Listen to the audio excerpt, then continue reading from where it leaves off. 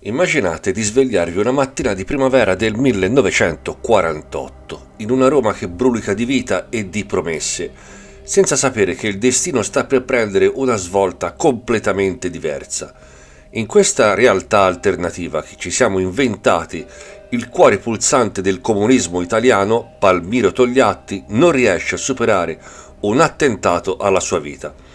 Nella nostra storia lui sopravvive, ma qui il suo tragico destino cambia tutto.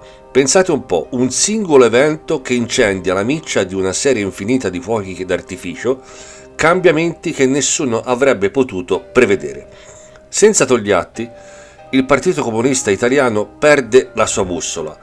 Quel che era moderazione diventa estremismo. Le sue strategie, un tempo calcolate, si trasformano in azioni impulsive Immaginate la piazza piena di gente che sentendo la notizia capisce che nulla sarà più lo stesso e l'assenza di Togliatti porta al potere voci più radicali, gente che non teme di spingere l'Italia su un sentiero mai battuto prima, lontano dall'Occidente e dalle sue promesse di ricostruzione post-bellica. In questo scenario il Partito Comunista Italiano non solo sopravvive, ma prospera, attirando a sé una moltitudine di italiani stanchi delle promesse non mantenute dell'epoca post-guerra. L'idea di un'Italia comunista, un tempo solo un sogno lontano, inizia a prendere forma. Con un sorprendente colpo di scena, il partito conquista la maggioranza, formando un governo che promette di ribaltare l'ordine stabilito. Cominciano così a circolare proposte di riforma radicali, espropriazione delle grandi industrie, riforma agraria che non ha precedenti, collettivizzazione delle terre. Ecco, immaginate la confusione, l'eccitazione, la paura e la speranza che si mescolano nelle piazze e nelle case di ogni città e paese. Ma non è tutto oro quel che luccica. Questi cambiamenti, benché accolti con entusiasmo da una parte della popolazione, incontrano anche resistenza e ostacoli i proprietari terrieri, gli industriali, le elite tradizionali vedono le loro fortune minacciate e non stanno certo a guardare. L'Italia si divide, le tensioni crescono e quello che era un sogno d'unità si trasforma in una lotta interna che minaccia di lacerare il tessuto stesso della nazione. E poi c'è l'isolamento internazionale. Senza il supporto del piano Marshall, l'Italia si trova economicamente e politicamente isolata, ma invece di cedere si rimbocca le maniche e cerca nuove alleanze guardando verso est, verso l'Unione Sovietica e gli altri paesi del blocco comunista. L'Italia, un tempo crocevia del Mediterraneo e ponte fra l'est e ovest, ora sceglie decisamente da che parte stare. Nell'immaginario scenario di un'Italia comunista post 1948, la morte di Togliatti e la successiva radicalizzazione del Partito Comunista Italiano hanno portato a una serie di trasformazioni profonde che hanno influenzato non solo la politica, ma anche la cultura, l'arte e la letteratura del paese.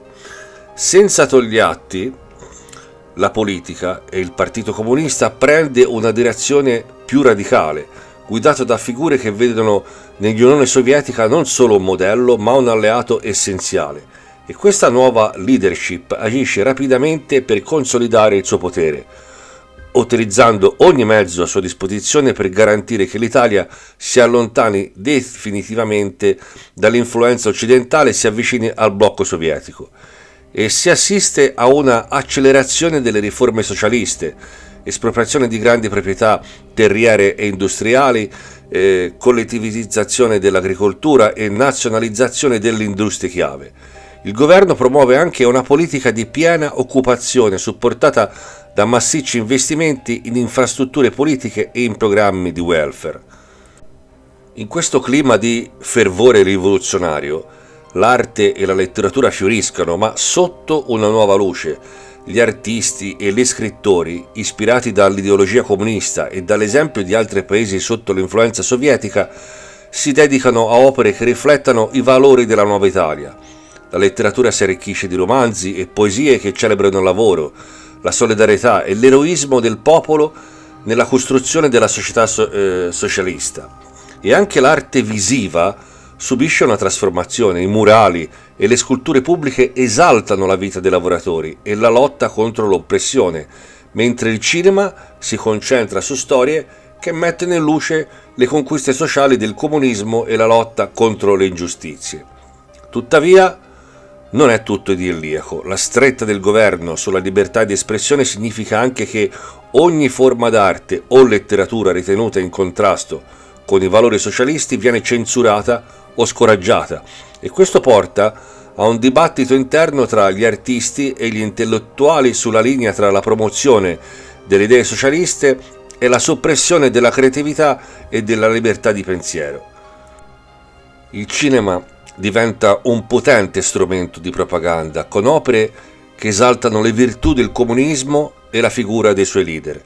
Al tempo stesso, alcuni registi riescono a navigare le acque turbolente della censura creando opere che, pur rispettando i dettami ufficiali, riescano a offrire una visione più sfumata e critica della realtà.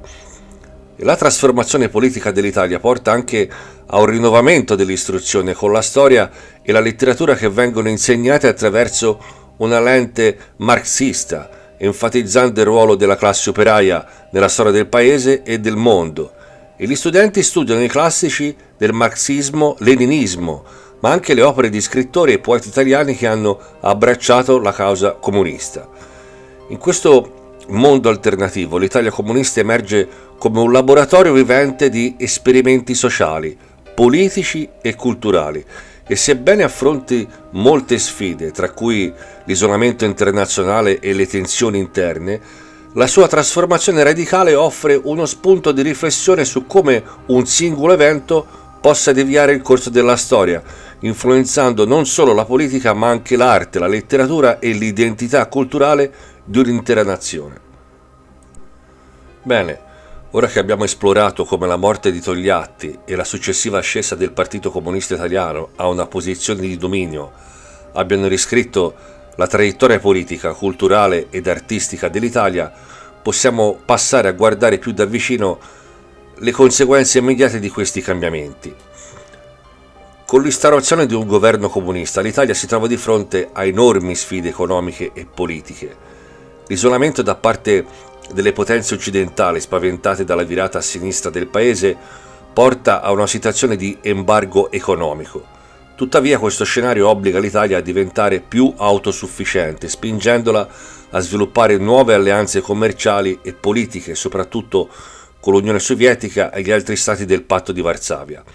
Immaginate una serie di accordi bilaterali che aprono le porte a scambi culturali, tecnologici e agricoli, facendo dell'Italia un punto di riferimento per il socialismo nel Mediterraneo. Sul fronte interno le riforme radicali iniziano a dare i loro frutti, ma non senza dolori crescenti. La collettivizzazione delle terre e l'esproprio delle industrie provocano una forte resistenza da parte di coloro che vedono minacciati i loro interessi e privilegi. Tuttavia, queste misure trovano anche un sostegno entusiastico tra le classi lavoratrici e i contadini che per la prima volta si vedono garantire diritti e protezioni. Le città e i paesi sono teatri di manifestazioni sia a favore che contro il nuovo governo, riflettendo una, una nazione sicuramente divisa ma vibrante piena di dibattito e di speranze per un futuro differente. La riforma dell'istruzione diventa un pilastro centrale della nuova Italia comunista. La scuola è vista come il mezzo per creare una nuova generazione di cittadini consapevoli e impegnati, radicati nei valori socialisti. I programmi scolastici subiscono una profonda revisione con un'enfasi sul pensiero critico la storia del movimento operaio e la letteratura marxista e questo nuovo approccio all'istruzione mira a eliminare l'analfabetismo e a promuovere l'uguaglianza di accesso all'educazione per tutti, indipendentemente dal ceto sociale o dalla provenienza geografica. E in questo contesto emergono nuove figure politiche e culturali che lasciano un'impronta indelebile sulla società italiana. Intellettuali, artisti e politici del calibro che l'Italia non vedeva da anni si mettono al servizio del progetto comunista, contribuendo a dare forma a una visione unica dell'Italia socialista.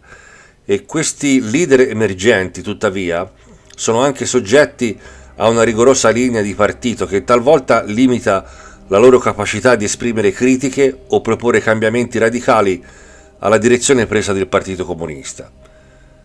Sul piano internazionale l'Italia comunista cerca di navigare in un mondo polarizzato dalla guerra fredda, posizionandosi come mediatore tra est e ovest, pur mantenendo stretti legami con Mosca, e questo equilibrio delicato apre nuove possibilità diplomatiche, ma espone anche il paese a pressioni e manipolazione da entrambi i blocchi. Ecco, in sintesi, le conseguenze immediate della svolta comunista in Italia sono complesse e sfaccettate. Mentre il paese si avventura in un territorio inesplorato, affrontando sfide sia interne che esterne, emerge anche un senso di possibilità e di rinnovamento e la promessa di un'Italia più giusta ed ugualitaria ispira speranza in molti, anche se il percorso per realizzarla è costellato di ostacoli e di resistenze. E questo periodo di transizione, ricco di fervore rivoluzionario e di sperimentazione sociale, segna l'inizio di un capitolo completamente nuovo nella storia italiana. Con il passare dei decenni, l'Italia ha affrontato e superato innumerevoli sfide, la transizione a un'economia collettivizzata, sebbene inizialmente difficile e segnata da resistenze e problemi logistici, ha alla fine portato a un modello economico unico. L'industria nazionalizzata e l'agricoltura collettiva, integrate da un sistema di welfare estensivo, hanno creato una società più equa e meno divisa e le disuguaglianze economiche, pur non completamente eradicate, sono significativamente ridotte rispetto al passato. La cultura e l'identità nazionale italiana si sono evolute in modo significativo in questo contesto. L'arte e la letteratura, liberate dalle strette del dogmatismo iniziale, hanno iniziato a riflettere una più ampia gamma di esperienze e di visioni.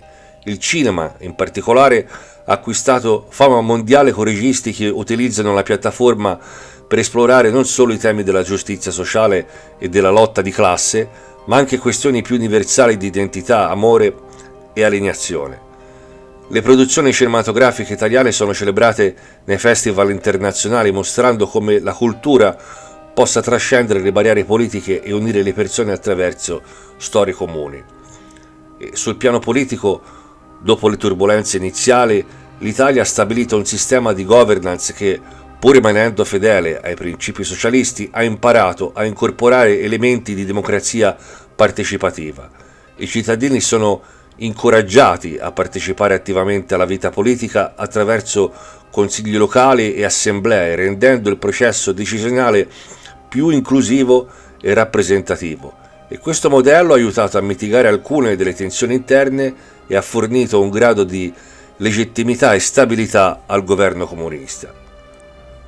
L'Italia comunista ha anche giocato un ruolo unico sul palcoscenico internazionale, servendo da ponte tra est e ovest durante la guerra fredda. Ha contribuito a facilitare dialoghi cruciali e a ridurre le tensioni tra le superpotenze. E nel mondo post-guerra fredda ha continuato a promuovere una politica estera basata sui principi di pace, di solidarietà internazionale e cooperazione allo sviluppo. Tuttavia, non è tutto perfetto in questo scenario utopico la società italiana, pur beneficiando di un alto livello di servizi pubblici e di una ridotta disuguaglianza economica, affronta nuove sfide. La libertà di espressione, sebbene più ampia rispetto ai primi anni della rivoluzione, rimane un campo di tensione, con il governo che lotta per bilanciare controllo e libertà. Inoltre, l'innovazione tecnologica e la competizione globale presentano sfide continue per un'economia che cerca di rimanere fedele ai suoi principi socialisti, pur essendo competitiva a livello internazionale. E in questo lungo termine l'Italia comunista emerge come un esperimento sociale, politico e culturale complesso, con successi e fallimenti. E la sua storia alternativa ci invita a riflettere sulle potenzialità e sui limiti delle ideologie politiche quando si scontrano con la realtà di governare e vivere in un mondo complesso e interconnesso. E la visione di un'Italia diversa, forgiata da eventi storici immaginari, ci spinge a interrogarci sulle infinite possibilità che la storia potrebbe offrire, ricordandoci che il futuro è sempre aperto a nuove direzioni e interpretazioni.